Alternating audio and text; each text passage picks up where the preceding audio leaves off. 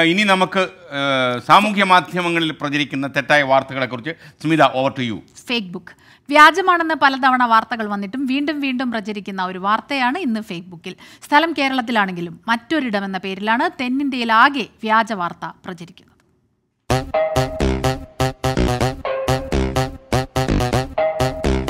വാർത്ത വ്യാജമാണെന്ന് പണ്ടേ പറഞ്ഞതാണ്. എന്നാൽ വ്യാജന്മാർ കേട്ടില്ലെന്ന് തോന്നുന്നു. ഇപ്പോഴും പ്രചരിക്കുകയാണ്. നമ്മുടെ പൊന്നാനി കടപ്പുറത്തിന്റെ കാഴ്ച അതിർത്തികൾ കടന്ന് പറക്കുകയാണ്. സ്ഥലം പൊന്നാനിയാണെന്ന് മലയാളികൾ തന്നെ തിരിച്ചറിഞ്ഞത് ഏറെ വൈകിയാണ്. ഒന്നും മനസ്സിലായില്ലല്ലേ? വിശദമായി പറയാം. ഇത് രാമസേതു.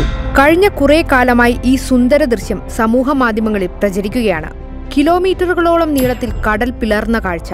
കണ്ടവർ സംശയലേശമന്യെ ഷെയർ ചെയ്യാനും മറന്നില്ല. ഒടുവിൽ ദൃശ്യങ്ങൾ അത് പകർത്തിയ ആൾക്ക് തന്നെ കിട്ടി. ഫോട്ടോഗ്രാഫറായ അഭിലാഷ് വിശ്വയ്ക്ക്. കള്ളി വെളിച്ചത്തായി. രാമസേതുവല്ലിത് പൊന്നാനി കടപ്പുറമെന്ന് വെളിപ്പെടുത്തി അഭിലാഷ് തന്നെ രംഗത്തെത്തി.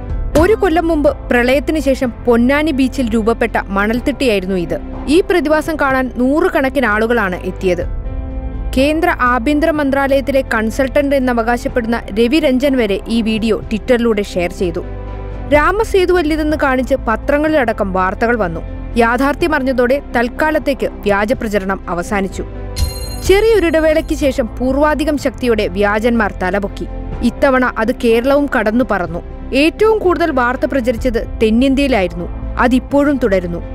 അങ്ങനെ വീണ്ടും പൊന്നാനി കടപ്പുറം രാമസേതുവായി. ആർക്കും യാതൊരു ഇല്ലാത്ത കള്ളമാണ് പ്രചരിക്കുന്നത്. എങ്കിലും സ്വന്തം നാടിന് കിട്ടേണ്ട പ്രശസ്തി നഷ്ടപ്പെട്ടതിൽ പൊന്നാനിക്കാർക്കെങ്കിലും പരാതി ഉണ്ടാകും. ഒന്നും ചെയ്യാൻ സാധിക്കില്ല. എല്ലാം കൈവിട്ടുപോയി. ഫേക്ക് ബുക്കുമായി വീണ്ടും കാണാം. നമസ്കാരം.